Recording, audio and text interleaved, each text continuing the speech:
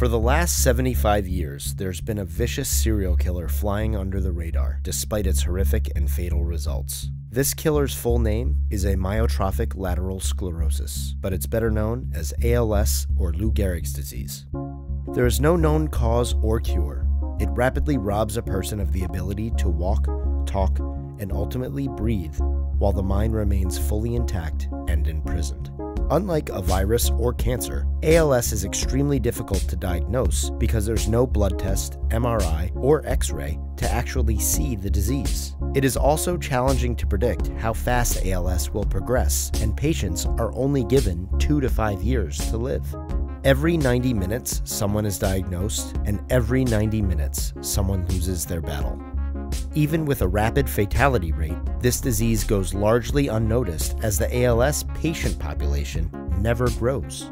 So, unlike polio, HIV, or even autism, ALS has never had the benefit of becoming an epidemic that urges people to action. However, ALS did have its moment in the sun during the summer of 2014. The Ice Bucket Challenge was a worldwide phenomenon that raised awareness to an all time high it also raised over $100 million for the ALS Association. With all that money, scientists should find a cure any day, right? Not exactly, and here's why. Given the short life expectancy of ALS patients and the sporadic nature of the disease, scientists have a hard time even knowing where to start.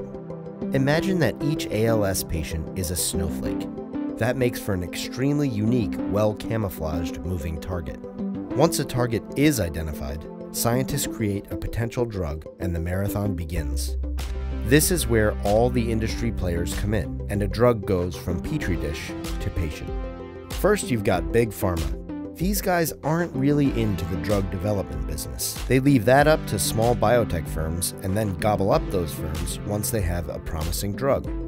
Then there are biotech firms like ALS Therapy Development Institute, large advocacy and patient service entities like MDA and ALS Association, as well as universities and hospitals. Let's consider this scenario. Dr. Hope thinks she has a drug worth testing. First, she must do exhaustive preclinical research to test the safety of the drug. Once the preclinical research has been completed, Dr. Hope must design a clinical trial, following the strict guidelines created by the FDA. Dr. Hope's clinical trial will have three phases. Phase 1 Approximately 50 healthy individuals are given different doses of a drug to determine adverse reactions and side effects. Phase 2 This is typically done using a double blind method, meaning neither the participant nor the clinicians know who's receiving the real drug.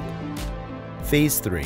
This is the largest and longest phase, testing for efficacy and adverse reactions. Only 25% of all drugs make it this far.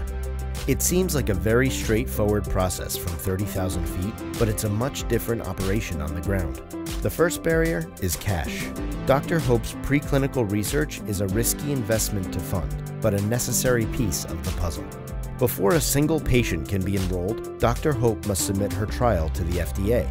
Since ALS is an orphan disease with unmet medical need, the FDA is required to reply within 90 days, but typically replies within 30 days.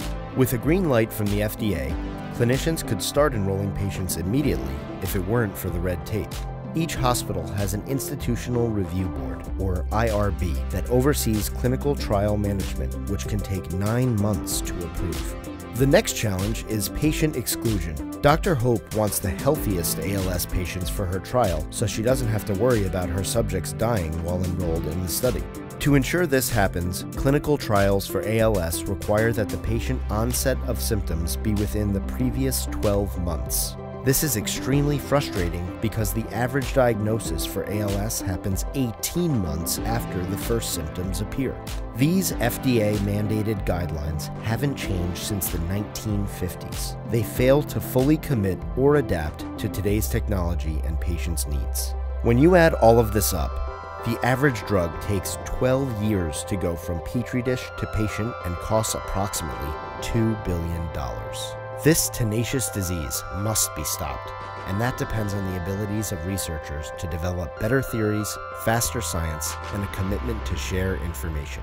And that takes money. ALS is not incurable, it's simply underfunded. Donate today.